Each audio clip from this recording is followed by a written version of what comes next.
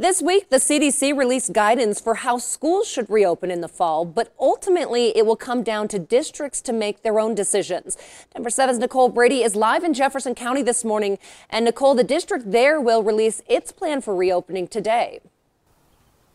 Yeah, Molly Jeffco will actually be pretty much the first major metro district to lay out specifically how it plans to return to in-person learning in school buildings come August. The plan that will be released today is preliminary. It could change over the summer as different conditions change with the virus and as they get some feedback. But for now, the superintendent says getting back to in-person learning will not look anything like these scenes in the video that you're seeing here. We will not see kids working this closely together, sadly. Jeffco's plan includes includes changes to the structure of the school day to allow for social distancing, also specific hygiene measures and screenings for symptoms. And there will also be a plan to continue remote learning for some students because the district knows that some families just will not be comfortable sending their kids back to school by August.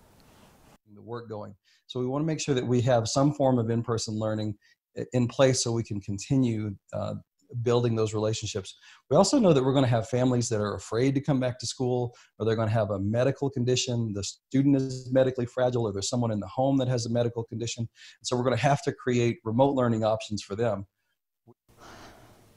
Yeah, and of course, remote learning would also be the backup option if schools do have to close down again at some point in the fall. So we'll let you know today when Jeffco releases its plan. Again, if you are in the Jeffco district, you should have a chance to give some feedback, and we'll want to hear from you as well what you think of it. We're live this morning. Nicole Brady, Denver7.